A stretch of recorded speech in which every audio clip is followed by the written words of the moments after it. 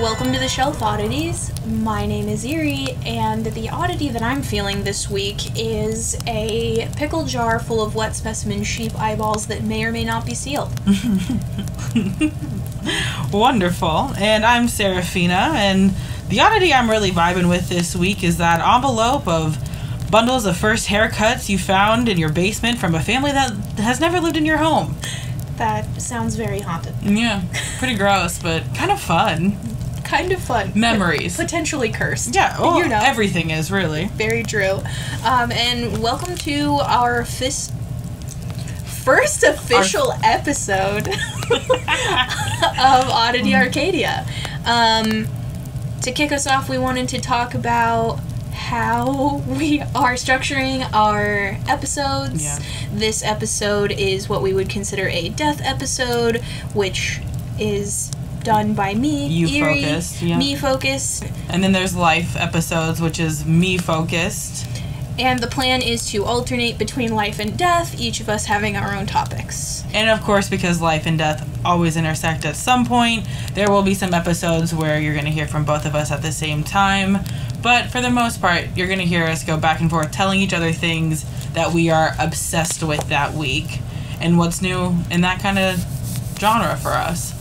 So this week, Eerie, what are you hyperfixating on? I am hyperfixating on the history of taxidermy. Hmm. Um, as we both know, I got into um, the whole oddity community and being interested in oddities over the last couple years. Yeah. Uh, that's one of those found it during quarantine, like most people found COVID many hobby. things, the COVID hobby, and fell madly in love. Taxidermy being one of those things. So I figured we would start us off right Yeah. By talking about some dead animals. Wonderful. So I'm gonna hop right in. Please do. Um, my intro and description that we're here is a direct copy paste from Wikipedia to give them credit. So Okay. I'm gonna read it as it was written on Wikipedia because I like how it was written. we love so, plagiarism at its finest. Hey, Credit, credit where credit's due. Let's go. I'm ready. So, taxidermy, or the process of preserving animal skin together with its feathers, fur, or scales, is an art whose existence has been short compared to forms such as painting, sculpture, and music. The word derives from two Greek words, taxis, meaning order, preparation, and arrangement, and derma, meaning skin. Directly translated, taxidermy means skin art. Which I did not know and loved as soon as I read it for the first time. I didn't know that either. And like the derma part is Yeah, so obviously right. skin, but never did I put that together. That's so interesting. Exactly. Yeah. So thanks Wikipedia. Um, I'm gonna do a timeline, jump kind of at oldest taxidermy to where we are at with taxidermy in modern times. So, as with most fun and wonderful things, we're starting in ancient Egypt, Uh, yes. which I, tracks. I definitely researched something like that this week too, and it always leads back to the Egyptians. Always. So grateful. Of course. Um, so the earliest known taxidermists were the ancient Egyptians, and despite the fact that they never removed skins from animals as a whole, it was the Egyptians who developed one of the world's earliest forms of animal preservation through the use of injections, spices, oils, and other embalming tools. So they basically did early forms of embalming. Um, as early as 2200 BC, Wow. the old timies. Uh, they embalmed the bodies of dogs, cats, monkeys, birds, sheep, oxen, which was interesting, um, and any other pets of Egyptian Egyptian royalty, and buried them in their pharaoh's tomb. Well, they mummified cats, right? Right, So this is just like an- another step up from that. Yeah. Um, Wow. Well, actual embalming of those animals. Yeah. So that they were preserved in the tomb. Wow. Um, though these people did not seek to preserve animals for modeling like we would do for regular, uh, regular, like taxidermy Regular. regular, normal taxidermy, Normal. as because it's so normal, as they might appear in like a natural setting. The ancient Egyptians' ability to preserve the carcasses of animals as immense as a hippopotamus. No way. Yes, they preserved a hippopotamus, That's rad. a mummy of which which was discovered in Thebes. really? Yes, of a That's so full cool. hippopotamus. I want I. We might include pictures of that on our Instagram. I was gonna say I need to see that. because that's incredible. Um, so that's kind of the basics of Egypt. While we're talking about ancient Egypt, I figured this would be a great time to mention the mummy, um, because As in the movie, as in the movie, you should always be mentioning the mummy. that's so I'm why in it. Yeah. that's why I wanted to mention it uh, because my love of ancient Egypt definitely came from the mummy, Mm. um, and also is definitely why I'm gay. Uh, yeah, I definitely wanted to be a librarian. Same. I'm glad that I have thicker eyebrows, though. I think that that would not fit my face. But yes, she, uh, she They definitely killed it. Killing it. Yeah, Awesome. icons. Absolutely. uh, so moving on to early preservation of animal hides, which I think is one of the. I don't ever think of that as a form of taxidermy for some reason, um, but it really is. Well, when you look at the word, Yeah. yeah, Yes, yeah, yeah. You're 100% skin art. That is Skin skin art. art. Oh. For sure. Um, so, animal hide. This form of taxidermy was popular in Europe and with um, Native American societies, which is super rad. Um, they have a lot of really cool, a really cool art and hide preserving. So the skins and hides of animals were preserved and used for a wide range of purposes, including clothing and bedding. Um, some early societies also preserved animal hides for cultural or religious purposes. So yeah, Yeah. Moving on to the Dark Ages. Uh, this is when we started having renewed development and new techniques for taxidermy. So during the Dark Ages, the interest in taxidermy declined due to a rise in technological advances and the rapid decline of needing to tan hides. But in the 1400s, people took a renewed interest in the art of taxidermy. This was the start of the Renaissance and scientific revolution, which lasted into the 1600s. So not only were people interested in preserving animal skins and hides, but also in recreating the lifelike representation of animals as a form of art. Hmm. It was during this time that early museums also started to become interested in creating displays featuring a wide range of wild animals for people to see up close. So, um, in the Netherlands in the 16, 1600s, the first attempts were made to preserve and mount birds, which birds are like the craziest taxonomy to me because it's not like they have a whole hide, they have individual, like the feathers Yeah. there's a lot more detail. So the first large-scale animal mounted was in the 1500s at the Royal Museum in Florence, Italy, where they used taxidermy techniques of the time to create a rhinoceros dis- display. No way. Which, that's like the Like big it's like a hippo. yeah. I mean, well, size yeah, wise, that's size-wise. wild. Yeah, yeah. And then um, in Switzerland in the 1600s, the Museum of Saint Gall, G A L L, I might be completely butchering that. I would assume Gaul, Gale. Gale. Gall, yeah. And uh, had acquired a preserved crocodile from Egypt for a display. I love that. Me too. Crocodiles are basically I will ask you. Modern dinosaurs. Not to interrupt or derail us, as I am known to do. Have you seen the? Um, it's not a crocodile, but it's like um older dinosaur that they found that was like flattened, oh but yeah. like perfectly preserved. yes, it was like all one. I think it's the coolest thing. Incredible. Yeah. So knowing that like the Egyptians were like, let's taxidermy have you know that kind of vibe going. Yeah. That's so cool. Amazing. Yeah, I want to see pictures of that crocodile too. I didn't see any when I was doing my research, so that might be another one we have to uh, take a look at. yeah, for sure. Awesome. Um, so, further developments in taxidermy during the 18th and 19th centuries, moving through our timeline. Uh, one biggest contributor to the further development of modern taxidermy was the British Museum, previously known as the Montagu House.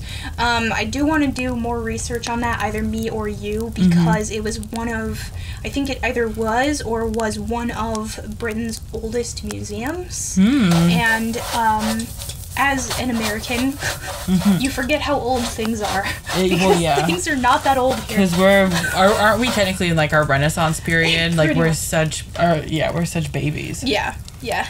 So the museum was established in 1753, largely based on the collections of the Anglo-Irish physician and scientist Sir Hans Sloane, and it first opened to the public in 1759. Like I cannot imagine a museum that's starting in 1759.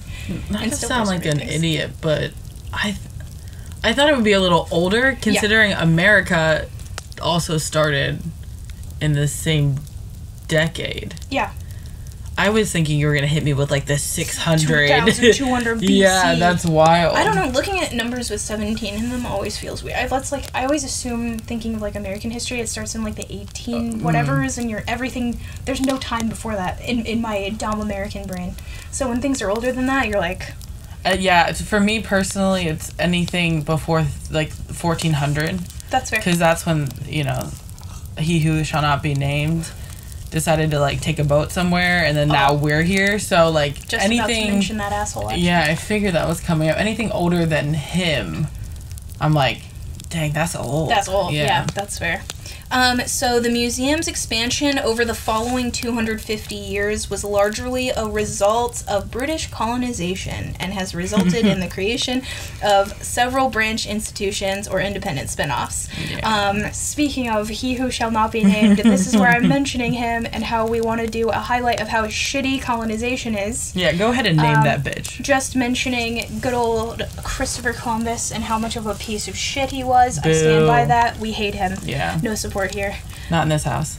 I'm sure uh, his name will come up in history a few times, depending upon what Oh, topics we talk sure. about. And uh, this podcast always supports Christopher Columbus slander. He can go fuck himself. Yeah, definitely. All right, we could go on that topic forever. So moving on. right. Uh, by the late 1700s, the museum had acquired and created the world's largest collection of preserved animals, animal skins, and collections, which the taxidermy from that time is absolutely hilarious Oh, um, sure. because they did not have. They didn't have what they needed to make it very realistic. So I do talk about bad taxidermy a little further into my topic here, but uh, old timey taxidermy is so good because they're so bad looking. we'll definitely have to put up a few good pictures of that Yes. too, because it always gets me every time. Yes. Um, so after the fall of Napoleon, the museum continued to grow and continued to develop more modern techniques for recreating lifelike animal displays. Um, in 1851, the museum hosted the Great Exhibit Exhibitation. That's a word. Editing Eerie here. The word that we're actually looking for is exhibition. featuring displays of animals from all around the world. I do want to look into that topic in the future, either you or I, because I don't know what was actually included in that exhibit. Yeah. So I'm curious to see what all they did, because that is a very cool idea. Well, what year was that? Um, 1853? 1851. 51. The Great Exhibitation That's what it's Great called. Exhibition. Yep. It's kind of like a world fair of taxidermy. Yeah. That's interesting. For sure. So speaking of old-timey taxidermy, going into the early taxidermy methods, the early methods to create animal mounts relied on using current methods to preserve animal and tan hides. The skin and hides were removed from the animals, the flesh was then removed from the skeletons, and then the animals were stuffed with cotton, sawdust, paper, and other materials. And then the skin or hide was stitched back up to place on the frame. So when you look at current taxidermy, which I talk about further into our timeline here, we have basically styrofoam molds Right. or mo- or plastic molds that are the shape of the animal, and then taxidermists will do the skin on top of that. But in the olden days, we didn't have molds.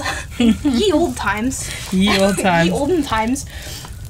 So a lot of times they would just use the skeleton of the animal as the mount. So Oh my god! I know I follow a couple taxidermists on TikTok. Um, I'll have to include one of the ones that I like a lot in the show notes, but they can date when the mounts were done based off of what the mount is stuffed with. That's cool. Yeah, and with the newspapers too, when they're taking them out. No apart, way. They like the see. Yeah, That's really cool. it's very neat. It's very neat. Oh, that's the oddity I'm vibing with this week. The newspaper clippings some TikToker pulled out of a dead thing skeleton from 1852. Yeah, yeah. Oh my gosh. I just think it's so neat, and the mounts are also very heavy, just because they Mhm. weren't modernized to be lighter. yeah, so for sure. Very cool. That's wild. Yep. However, because they're not using like a typical mold that was Yeah, made in a factory, Jank. everything was less than perfect. Yeah. Jank is a perfect word to describe it. So in most cases, the animals no longer looked natural. this is where we get some of our very funny old timey taxidermy. Yeah. Um, and a lot of the taxidermists that were working on it were challenged with recreating lifelike representation of animals they had never actually seen before because it's not. oh not my like gosh. you couldn't Google a picture of an antelope and know that Right. when you're. So they were just kind of stitching the skin back together and trying their best to make it look right, but it didn't always look right. Oh heavens! I never thought about that aspect of it because in my th- in my head I'm like, well, you get the dead animal and then you start processing it, so you know what it looks like. but it's basically dead time Legos yeah. without the instructions. oh my gosh. oh, bless them. They're just really trying their best. We appreciate that they're trying their best, but wow. Yeah. For sure. Wild. Um, so this led to some errors in judgment, which resulted in, and I found it very funny that Wikipedia put resulted in epic fails in the, in the article and included quotes around. Whoever the teenager was that was editing that article that day, I want to say thank you. Uh, that. A hundred percent. Some of the animals were more cartoonish than realistic when completed. But the other fun part is the people viewing the exhibits also didn't know Oh, that it was wrong. they've never seen. because they've never seen the animal, so they Could you just assume. imagine? Yeah, they They're just just like that's what sheep look like for yeah, sure. they're like that's a hundred percent. That's an antelope. Yeah. Yeah. Oh my god. and they were just a hundred percent. So with those epic fails, this this had me thinking about current um, taxidermy that people do where it's bad on purpose. Yes. Because that is the derpy lion It- comes to mind yes. so hard. Yeah. So I wanted to mention um, I'm in a couple oddity Facebook groups, which really is the time of your life because you'll you're scrolling through Facebook and you just see something very weird and you're like, ah, yes, I know what group this came from. So I have seen some people basically take like possum skins and turn it into like a hood for a Barbie doll or like a baby. So then there's like a little baby doll wearing a Oh possum skin, That's living its so best funny. life. I also currently have bookmarked on Etsy. Someone made, I think it's like a weasel or a mink, into a slap bracelet. No. So they took the whole weasel or mink, don't quote me on the animal, and shoved a slap bracelet down it so that he's completely flat and you can slap it on your arm. That makes me gain hope and lose hope for humanity all at one time. And like that's just that I did not expect to hear mink slap bracelet Yeah. today and I'm grateful I have but also terrified. Yeah, that um, I do still have the booking. Hopefully, so hopefully I can include pictures of that in our Instagram for Please this do. I need to see that. uh, That's so because funny. it is a definite adventure. I also saw someone turn a straight an entire hamster into a fridge magnet. oh my god. I just I I want to is know. that better? Is that better than I- the slap bracelet? I just want to know who looked at a hamster and was like, "Time for Yeah. you to be a fridge magnet." That's the. I want that brain. That's kind of like very Tim Burton brain. It is very timber. I appreciate it. Me too. I, I I can appreciate that for sure. I really enjoy sending bad taxidermy to my friend who's not very interested in oddities and kind Oh. of ruining his day. Yeah. Um, shout out to Jared who deals with with me randomly messaging him on Facebook with uh, Nothing ruins your day quite like fridge hamsters. So. nothing really makes your day like creepy baby doll wearing the skin of a possum. This is the skin of a killer Bella. it's the skin of a Bella. Where are you at, Luca? Where the hell have you been, Loca? Great. So advances in taxidermy. So this is where we start getting into they're using molds now. So you Yeah. have your styrofoam, metal rods, wire frames start to replace skeletons. Do you know what year this is? Um, Or like around, I guess I should say. I'm sure it was. 18th and 19th century, Okay. which tracks uh, because that is around the time where, and I'll go into this a little bit in some other topics. There was like a an appreciate death phase of everyone's life, where, Like a macabre kind of moment. where everyone where like the idea was to make it so that everyone appreciated death more instead of it being like this creepy scary thing Yeah, I can Which- appreciate that. i think humanity kind of goes in and out of that Yeah, like i definitely think we're in a we're scared to die phase currently Yeah, definitely. uh, much like you know the victorian era where Yeah, it was, yeah, like yeah. everything was creepy and macabre though they did not think it so Or like the scene era after 9/11. Yeah. You know, Yeah. kind of the same vibe. Yeah, very similar vibe. Thanks Gerard Way for that. Ah, yes. Thanks, Gerard Way. God bless him. God bless. Metal rods would be used to go into the styrofoam to make bone like support for legs, heads, and tails, and then wire was used for delicate appendages. And when I read delicate appendages, like most people, um, I did not think, oh, it's a wing or something. I immediately thought we're making wire dicks. And that's Yeah. not what it was talking about. But I felt it was important to mention that that's where my brain went because I can't be the only one. I thought of like little fingers, like they're like little rat hands. That's probably actually. but then after you said, but I thought about, and my brain went, oh, not I think the it's dicks. just the word appendage. Appa- I think yeah, delicate. You kind of yeah. reading Game of Thrones will do that to you. the amount of times you read appendage Yeah, definitely. uh, to describe a and or member, oh, member. Yeah, that'll do it. just you know, throwing that in there. Uh, so moving on to the 20th century. So for numerous years, the methods to prepare and preserve animals relied on burying the carcass into the ground and letting nature take its course in order to remove the flesh and bones. Um, as we know, that takes a long time.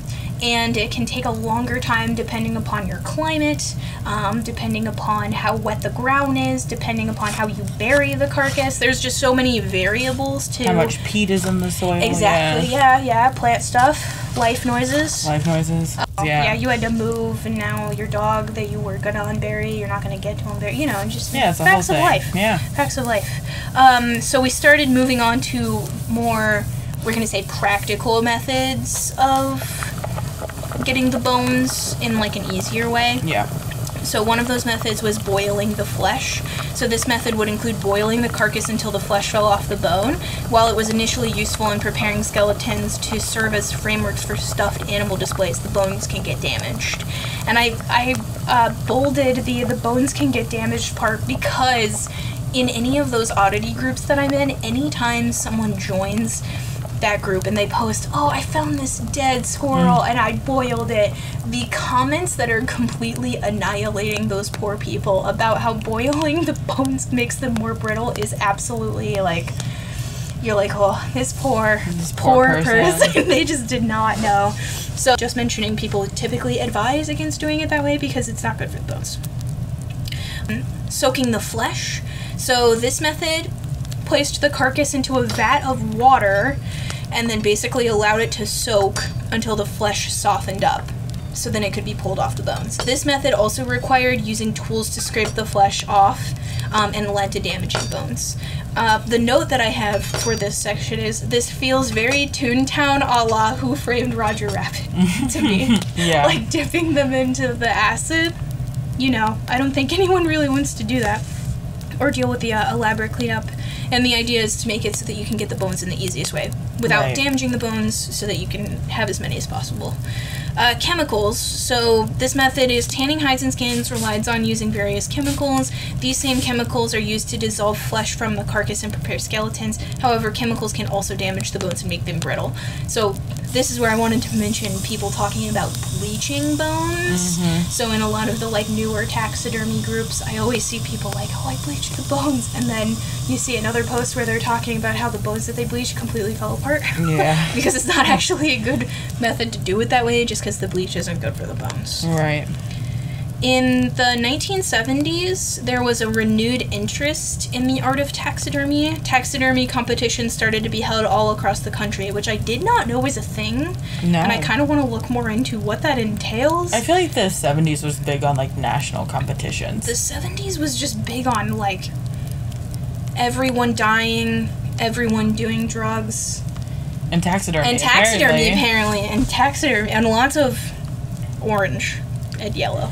Yeah, well, yeah, definitely. A flower here or there. Yep.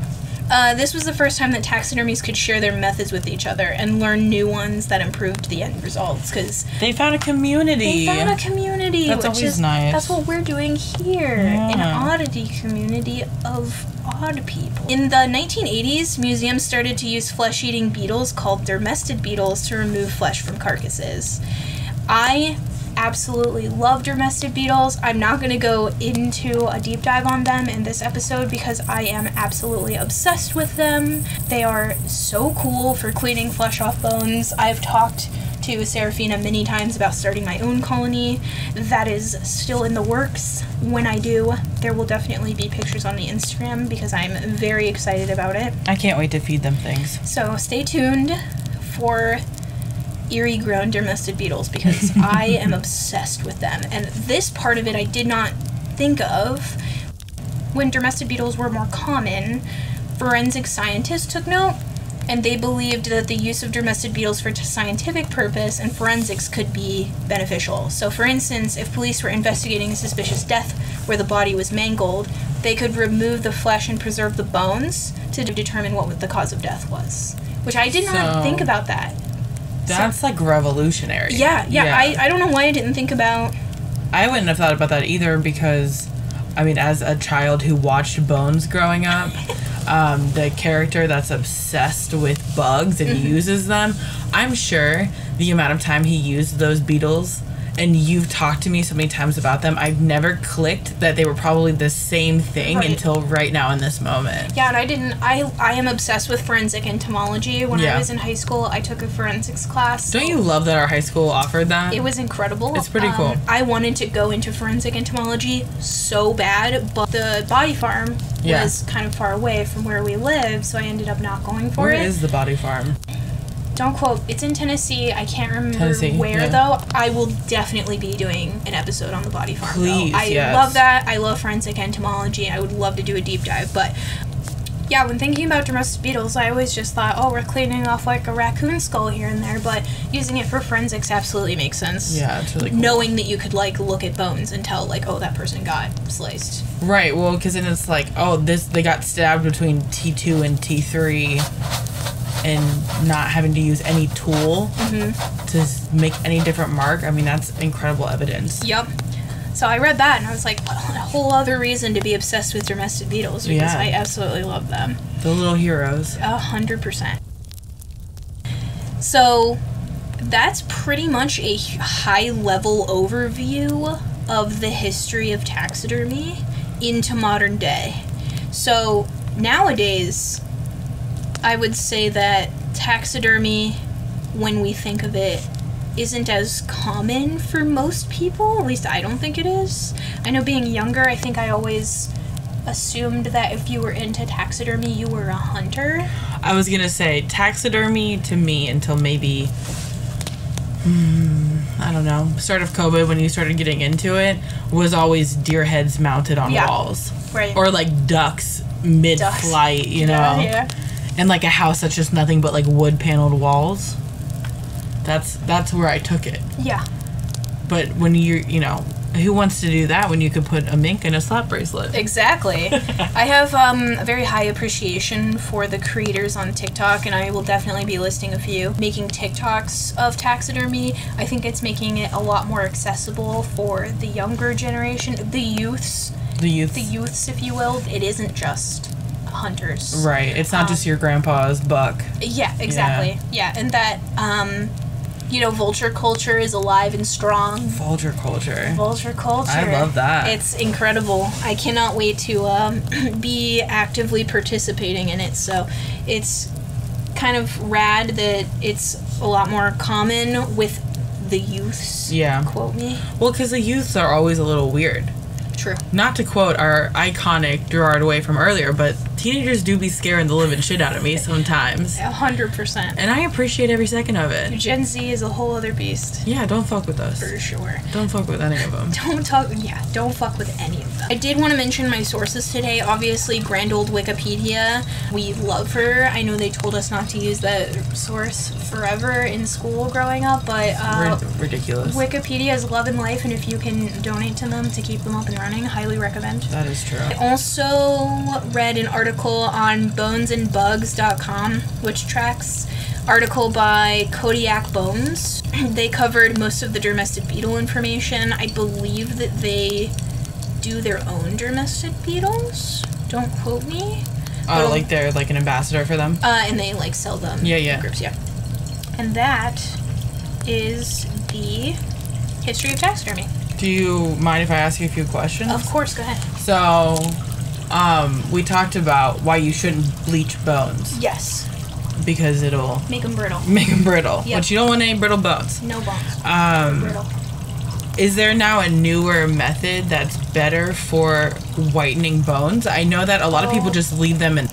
So looking into modern day bleach cleaning, and I did remember bleach cleaning, Bleach cleaning. bone cleaning, Bone cleaning. and bleaching. Didn't mention in my notes, but a lot of people do degrease the degreasing method, where they basically take a skull and they put it in a bucket full of dish soap and let it sit Yeah. and let the grease just come off of the skull Gotcha. by a dish soap, and that supposedly is not. As Is there anything Dawn doesn't do? Dawn does everything. it saves little ducks from oil spills, and it helps with bleaching bones. I love So, that. Um, hydrogen peroxide is another method that I'm seeing listed Hmm. here, which also tracks. Yeah. But the degreasing method does take a long time, and I have heard that it, it can take like days, depending on the size of the skull. And, Oh, really? yeah, Oh.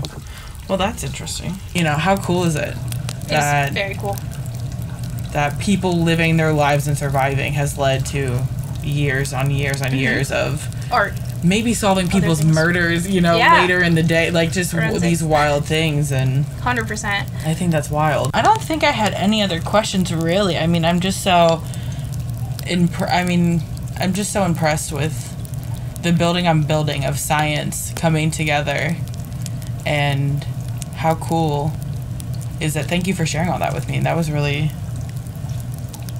uh, that was that was really uh, nice to learn all those things from someone who doesn't typically listen to stuff about taxidermy. I can't wait to see what TikTokers you link because I have ever since you sent me that crazy raccoon one, the first one of Uh, the diva raccoon. yes. Uh, they pop up everywhere now, and it's been a, a hell of a time. So we'll definitely have to link them as well. Hundred percent. Um, so thank you all for listening to the first official episode of Oddity Arcadia. Welcome to the shelf. Um, oddities on oddities. We're here to create a fun environment of odd people where we can all be friends and enjoy weird things And together. learn. and learn and learn. We're both 100%. people who uh, probably heard too much in life. You always have to be learning and just completely internalize that. Mm-hmm. Um, and continuous education is something that I really love. So, all right. Well, my dear Eerie, thank you so much for spending time today teaching me about taxidermy. I really appreciate it. I didn't have any of that kind of background, and now to know some of that stuff, I can't wait to see that alligator. That's going to be so interesting. So, thank you guys for spending time with us. Thanks for learning with us. Stay out, Arcadia.